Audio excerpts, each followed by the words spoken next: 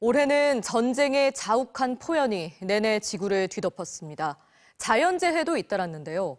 강진과 기상이변이 세계 곳곳을 강타하면서 그 어느 때보다도 많은 사상자가 발생했습니다. 올 한 해의 국제 이슈들 윤성철 기자가 정리했습니다.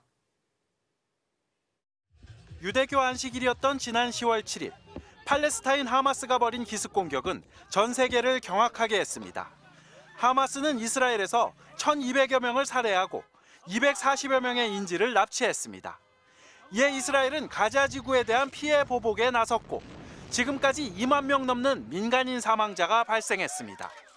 하지만 지지부진한 휴전 협상에 언제 이 전쟁이 멈출지는 알 수 없는 상황입니다. 2년째 이어진 전쟁에 마침표를 찍기 위해 우크라이나는 여름철 대반격을 시도했지만 촘촘한 러시아의 방어선을 뚫기엔 역부족이었습니다.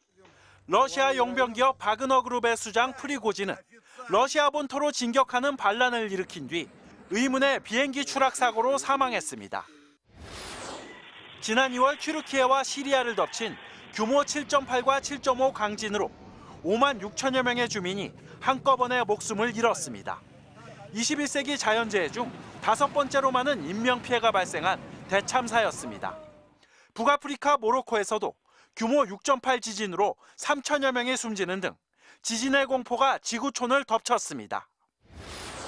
기상관 측 174년 역사상 가장 뜨거웠던 올해 각종 기상이변도 속출했습니다.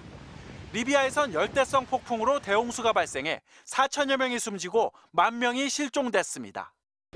지상낙원으로 불리던 하와이 마우이 섬은 뜨거운 대기가 촉발한 산불로 섬 전체가 잿더미로 변했습니다. 일본은 지난 2011년 동일본 대지진으로 후쿠시마 제1원전에서 사고가 발생한 지 약 12년 만에 오염수 해양 방류를 시작했습니다.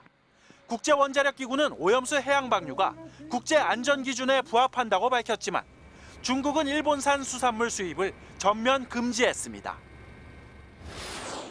인류의 미래를 크게 바꿀 인공지능 AI 기술 개발 경쟁도 본격 시작됐습니다. 미국 기업 오픈 AI가 출시한 생성형 AI 챗GPT는 1년 만에 2억 명이 쓰는 거대 서비스로 성장했습니다.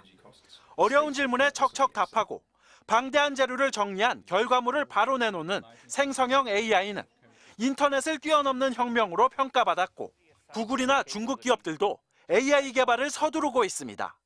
MBC 뉴스 윤성철입니다.